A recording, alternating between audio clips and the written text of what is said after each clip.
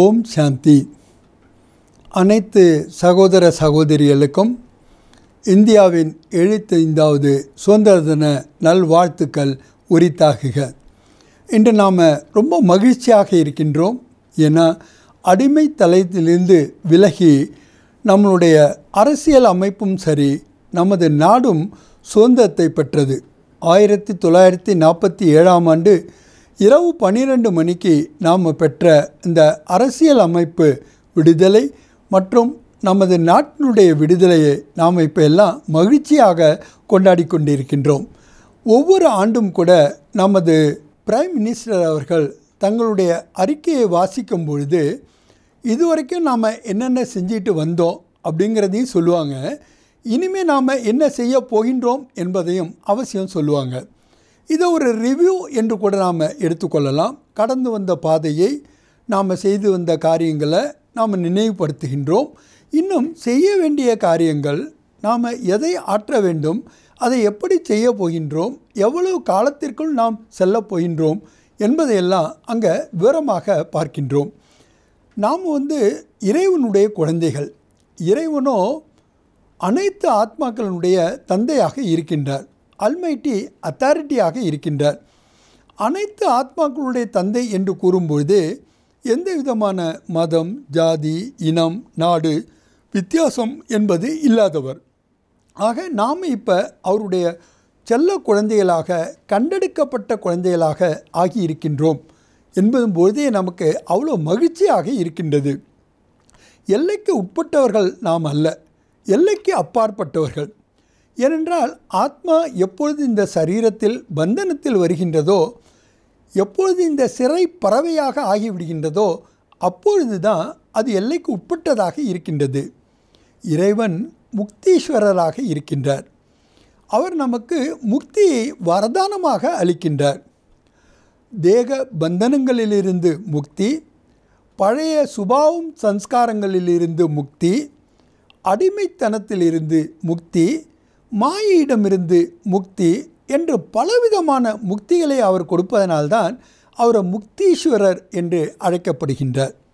நாம் விடுதலை உணர்வை பெறும்பொழுது தான் நம்மளால் மகிழ்ச்சியாக இருக்க முடியதுன்றது.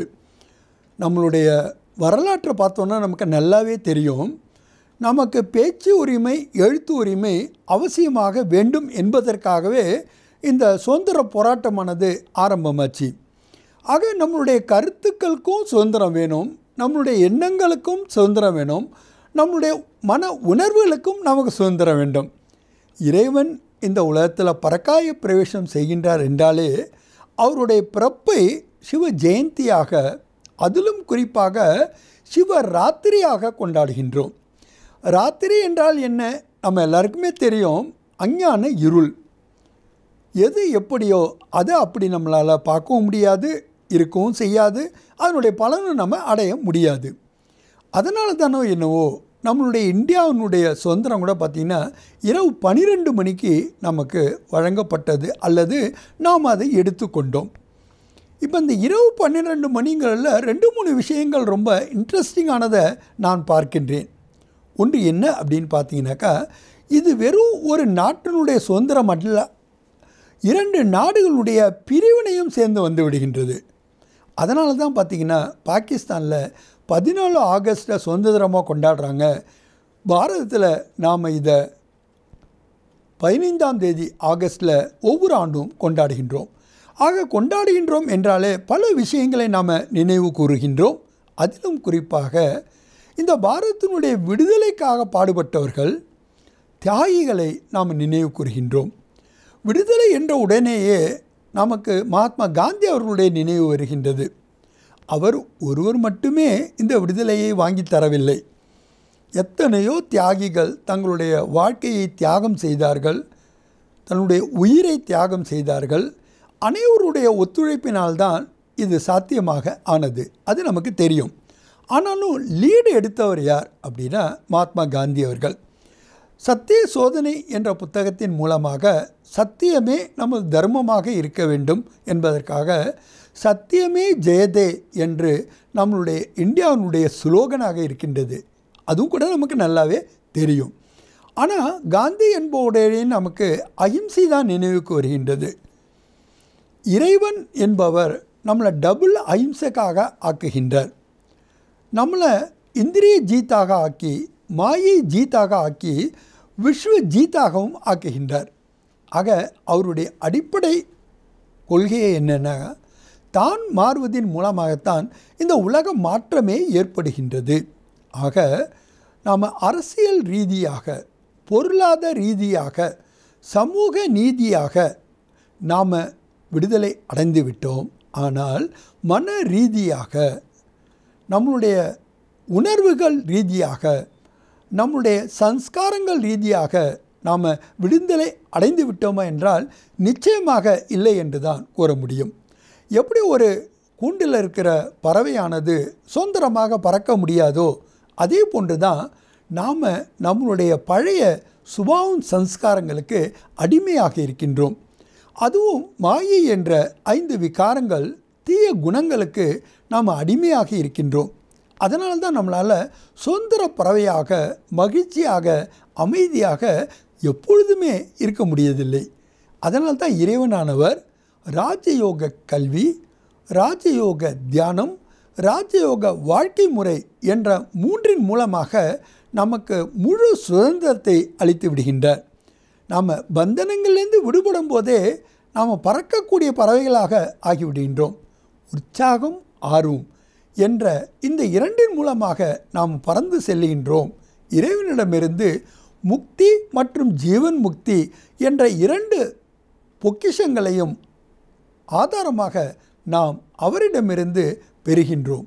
அதுவும் கேட்டு பெறவில்லை. நாம் அவருடைய குழந்தையாக ஆவதின் மூலமாக அவருடைய ஆஸ்தியாக பெறுகின்றோம். அதுவும் நம்மளுடைய பிறப்பு உரிமையாக அதை பெறுகின்றோம். அப்படிப்பட்ட பாக்கியசாலிகளாக நாம் இருக்கின்றோம். எல்லைகளுக்கெல்லாம் அப்பாற்பட்ட ஆன்மீகத்தில் இருக்கக்கூடிய நீங்கள் ஏன் இந்த சொந்த தினத்தை கொண்டாடுகின்றீர்கள்? என்று சிலர் என்னிடம் கேட்பது உண்டு. பாரதத்தினுடைய சுதந்திரம் என்பது வெறும் இந்தியாவினுடைய சுதந்திரம் அல்ல. முதலில் சொர்க்கம் இருக்கும்பொழுது சதோ பிரதானமான கோல்டன் ஏஜ் இருக்கும்பொழுது ஹேவன் பாரடைஸ் பகிஸ்த் சொர்க்கம் வைகுண்டம் என்றெல்லாம் வழங்கப்படுகின்ற அந்த உலகம் இருக்கும்போது ஒரே ஒரு தேசம் நமது புண்ணிய பூமி பாரதம்தான் இருந்தது.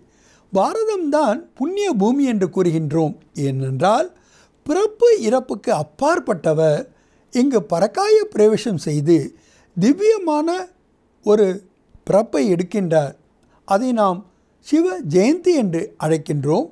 அதுவும் நாம் அனைவரையும் விடுதலை செய்வதற்காக நமது பலகீனங்கள் குறைகள் விகாரங்கள் மாயையிடமிருந்து நம்மளை விடுதலை செய்கின்றார் ஆகவேதான் இந்த விடுதலையை நாம் மிக சிறப்பாக மகிழ்ச்சியாக கொண்டாடுகின்றோம்.